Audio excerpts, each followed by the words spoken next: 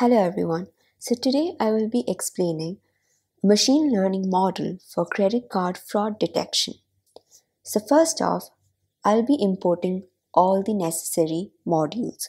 So we need NumPy, Pandas, Seaborn and Matplotlib for visualization. We'll be using logistic regression, SVC, which is support vector classifier, k nearest neighbors, decision tree classifier, and random forest classifier.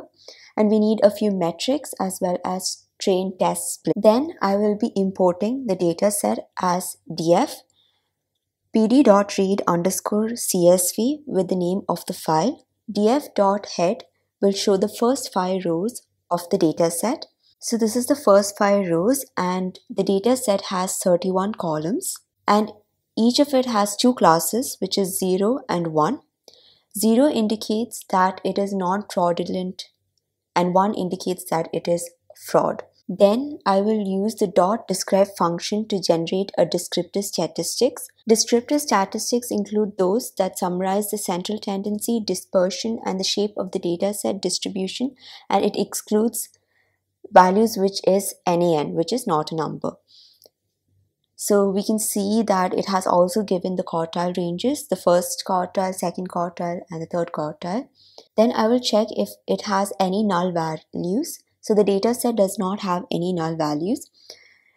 Now using the dot columns attribute, I will find the name of all the columns. So there is time and then V1 to V28 columns, uh, the amount and the class. So now I will print the number of fraud cases and the non-fraud cases and I will create a percentage of the amount of it present in the data set.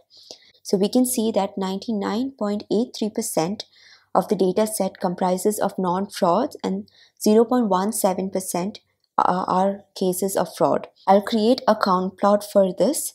So this uh, indicates non-fraud and one in indicates that it is a fraudulent case.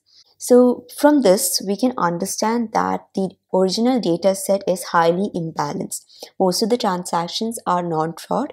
And if we use this data set as the base for our predictive model and we analyze it, there would be a lot of errors that would arise and the algorithm will be overfitting because it will assume that most of the transactions are not fraud, but we need a model that will be capable of assuming both cases equally. And the model should be able to detect patterns that give signs of fraud. So we need to create a subsample for this. So what we do is subsampling. But before that, we will standard scalar it and draw a scalar it Robust scalar is less prone to outliers. So it will be able to create a standardization taking in account of the outliers. So the amount and time will be scalared and we'll drop the columns time and amount. Now I'll create a new variable for the scaled amount and the scaled time and I'll drop the scaled amount and scaled time and I'll insert them into the data set so by doing so, the original amount and the original time data series will be eliminated with the scaled amount and the scaled time. So now we'll proceed to random undersampling, which is basically consisting of removal of data in order to have a more balanced data set and avoiding the models to overfit. The first thing we have to do is determine how imbalanced the data set is by using value counts. And we have seen that there are 492 cases of fraudulent. Now, after determining the instances of fraud transactions and non-fraud transaction, it is the it is our aim to create a 50 by 50 ratios that is equal number of fraud and non-fraudulent which is 492 cases now, after implementing this technique, we have a subsample of a data frame with a 50 by 50 ratio with regards to our classes. Then the next step that we will implement is shuffle the data to see if our models can maintain a certain accuracy every time we run the script.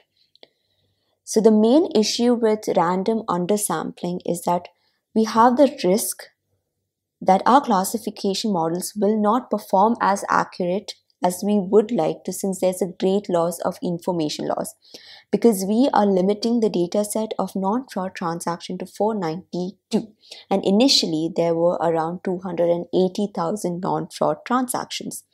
Now since the classes are highly skewed, we should make them equivalent in order to have a normal distribution of the classes. And by doing this uh, step, we will be shuffling the data before creating the subsamples. Now we have created a new data frame uh, and now it e contains equal amount of both the classes. Now this is the count plot and we can see that there are equal number for both the classes. I'll create a new variable x for the data frame that contains all the columns except the column class and y will contain uh, the column class. Now I will split the new data frame into testing and training uh, with the test size being 20%. I will also create an array for the training values, the testing values, and the target variable for both the training and the testing data set. This creates a dictionary called classifiers with the key being the name of the algorithm that's used and the value being the functions. So we will be using logistic regression, k-neighbors classifier, support vector classifier and decision tree classifier. Now I will find the cross validation score. So this dictionary will be used to fit the classifier to the training data set uh, and the target variable of the training data set and I will generate the cross validation score to find which model has a better accuracy. So for logistic regression, the training score is 93%, same with k-neighbors. SVC has 93% and decision tree classifier has 90%. Now I will generate the cross validation uh, score Cross validation is running the model with a part of the data set to check the accuracy. So after running this, we can see that logistic regression has a cross validation score of 93.14, k-neighbors with 92%, support vector classifier with 92%, and decision tree with 90.2%. Now I will use the cross-validated model for predicting the target variable of the training data set and and generate the ROC AUC score. So ROC AUC curve is a performance measurement for classification problem at various threshold settings. ROC is a probability curve and AUC represents degree or measure of the separability. So what it does, it tells us how much a model is capable of distinguishing between the two classes. So if the AUC is higher, then the model is better at predicting the 0 as 0 and 1 as 1. So it is capable of predicting and distinguishing between the two classes. So I'll be using a CV as 5 and the ROC AUC score for the four different models are given and we can see that support vector classifier as has the highest score. So now I'll explain a bit about support vector classifier. The objective of the support vector machine algorithm is to find a hyperplane in an n-dimensional space and n is the number of features in the data set and that distinguishedly classifies the data points. So we can see uh, that these are the various points and this belongs to one particular class and this belongs to the second class. So the objective is to find a plane that has maximum margin so here we can see that the margin is of this length, but here there is a greater margin. So the objective is to find a greater margin that is the maximum distance between the data points of both the classes. So this is a better SVM classifier than this. So using this high score in support vector classifier, we will use this model in order to classify between fraudulent and non-fraudulent credit card transactions.